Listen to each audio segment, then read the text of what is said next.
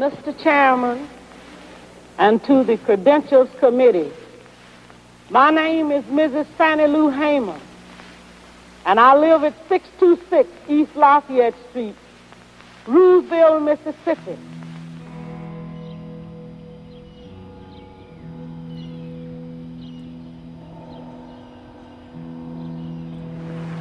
Is this America, the land of the free and the home of the brave, where we have to sleep with our telephones off of the hook because our lives be threatened daily, because we want to live as decent human beings in America. They had a uh, universal tap system. I, I had never heard of that before. We were monitored, there's no question about it. If you said something too derogatory about the operator, the phone would start ringing. so you knew somebody was listening. I have gone from the civil rights movement, from voter registration to demonstration to participating in the Mississippi Freedom Democratic Party.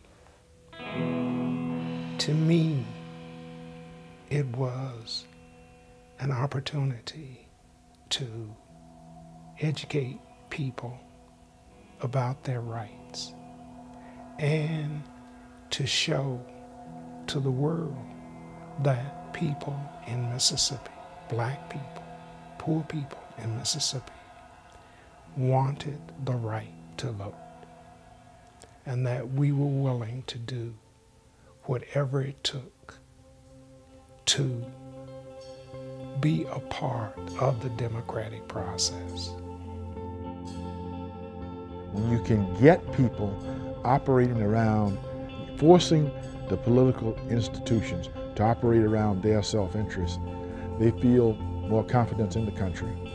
They feel more confidence in themselves, and they are prepared to go to quite a length to bring about the kind of country that America has always promised to be, but never quite was there. We're closer to that now than ever before.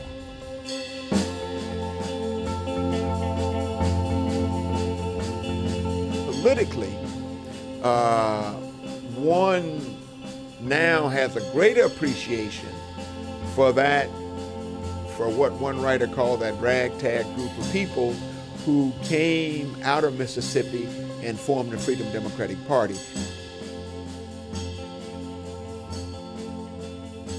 But we won the struggle even as we were losing, and we need to know that sense of history that nothing is absolute at the moment.